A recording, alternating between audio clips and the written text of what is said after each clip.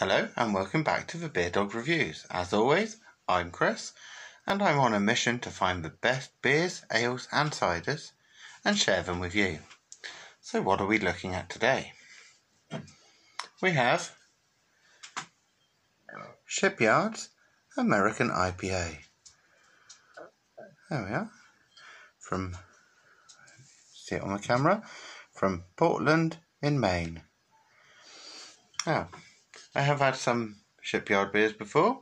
I've not had the American IPA, so I'll be interested to see just what this is like. Comes in at 5%.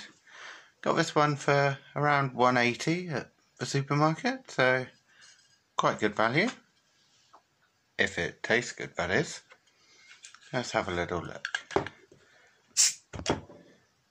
Ooh, little bit of smoke off the glass.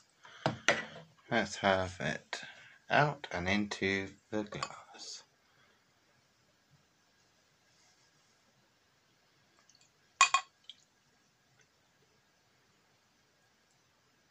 Nice easy pour that one. There we go. It's got a very, very slight head on it.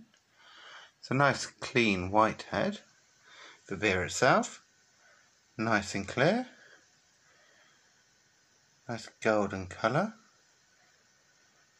Mm, almost verging on a pale amber, in fact. Let's have a look and see what the bottle says. So, oh, deep golden colour. There we are. Smell of vibrant and citrus hop. Let's have a look at the aroma, see if that backs it up. Oh, it's got a very vibrant citrus aroma to it. Hmm.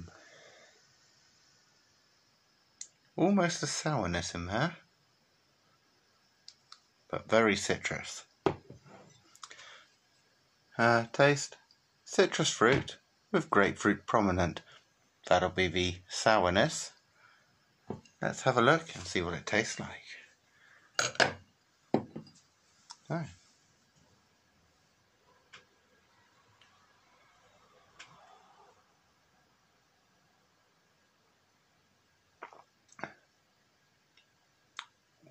Yeah. Yep, that's very citrus. All the citrus is packing in right at the front, leaving no room for interpretation. That is a definite citrus beer.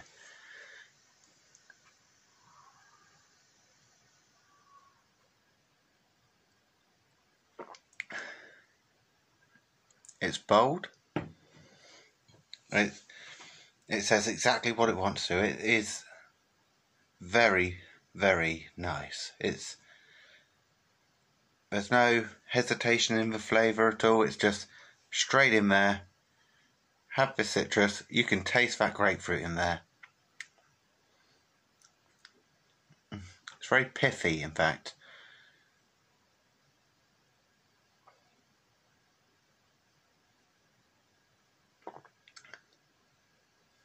Overall, it's a very good beer.